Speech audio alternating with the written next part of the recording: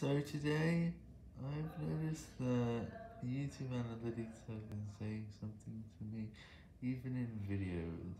It started recently, and it's been happening several times a month, on average.